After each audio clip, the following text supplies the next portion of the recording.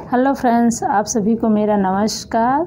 आज हम सरसों का साग और मक्के की रोटी बनाने चल रहे हैं। तो ये सरसों का साग हमने खड़ा ही धुल लिया था। इसको इस तरीके से बारीक हम चाकू से काट रहे हैं। इस तरीके से बारीक बारीक सरसों का साग हम काट ले रहे हैं। ये साग काट लिए हैं तो इसको दो दो बार हम और धुल लिए हैं। इसको हम रख रहे हैं बाल होने के लिए। तो हम कुकर में रख रहे हैं ताकि जल्दी हो जाए तो कुकर में सारी सब्ज़ियाँ हम रख दे रहे हैं वन सीटी लगा देंगे।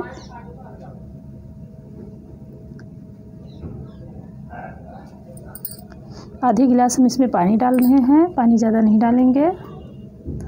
अब ये वन सीटी हम लगा देंगे ताकि जल्दी से सब्ज़ियाँ बन जाएँ, गल जाएँ। ये देखिए वन सीटी हो गया है तो ये सब्ज़ियाँ हमारी पक गई हैं, इसको हम थाली में निकाल लेते हैं ठंडा होने के लिए।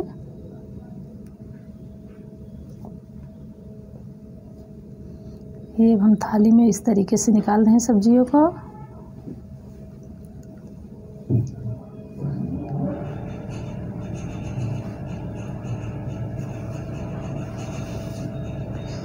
ये देखिए, सब्ज़ी जो है ठंडा हो रहा है तो इसको अब हाथ से हम पानी निकालेंगे। इस तरीके से इसको हम हाथ में लेंगे और इस तरीके से दबा के, ये देखिए, इसकी पानी जो हिस्ट्रा पानी है, वो हम निकाल दे रहे हैं।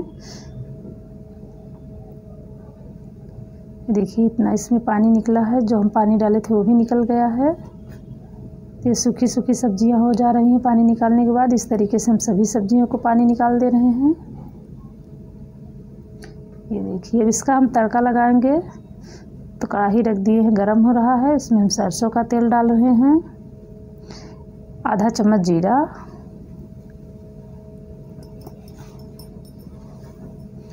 ये लहसुन है और हरा मिर्च है दरबरा कुटा हुआ दो चम्मच लगभग।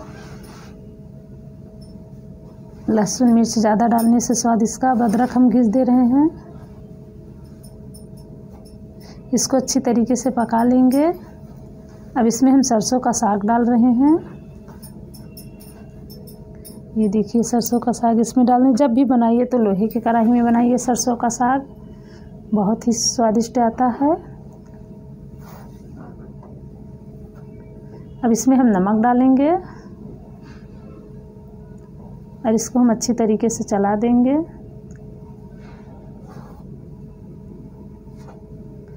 ये देखिए, सब्ज़ियाँ बन गई हैं। इसमें हमने हींग भी डाल दिया था, सॉरी, बताना भूल गए। तो ये सब्ज़ियाँ बन गई है, रेडी हो गई हैं। इस तरीके से देखिए, खिला खिला। अब हम क्या करते हैं, मक्के की रोटी बनाने की तैयारी करेंगे।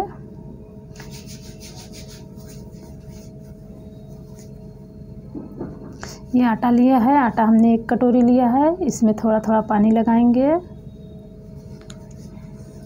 थोड़ा थोड़ा पानी डाल के इस आटे को हम अच्छी तरीके से लगाएँगे।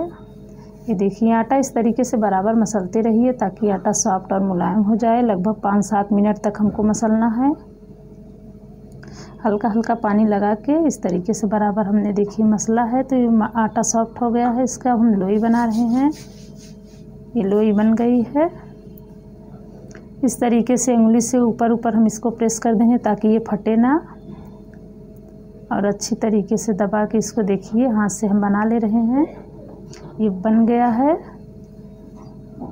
ये हमारा तावा गरम है तो इस पर हम डाल देते हैं। गैस हम तेज कर दिए हैं ताकि हल्का पकता रहे। देखिए इसको हम पलट रहे हैं। ये देखिए हल्का हल्का पक गया है तो पलट दिए हैं इसको। इस तरीके से हम और बना रहे हैं। ये देखिए, हो गया दूसरी तरफ़ भी, इसको हम सेकेंगे। तो इसको पहले पीछे हल्का सा सेक देते हैं, उसके बाद खड़ा करके हम चारों तरफ़ सेकेंगे।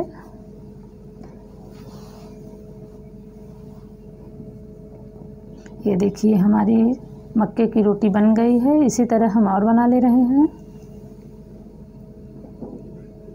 इस तरीके से ये सभी रोटियाँ हम खड़ा करके और चारों तरफ़ से सेक दे रहे हैं ताकि अच्छी तरीके से पक जाए। ये मक्के की रोटी हमारी बन के रेडी हो गई है। इसके साथ हम सरसों का साग लगा दिए हैं। देखिए, मक्के की रोटी, सरसों का साग दोनों हमारा बन के तैयार हो गया है। अगर हमारा तरीका पसंद आया हो तो हमारे चैनल को लाइक, शेयर, सब्सक्राइब करिएगा। सभी भाई बहनों को नमस्कार और धन्यवाद।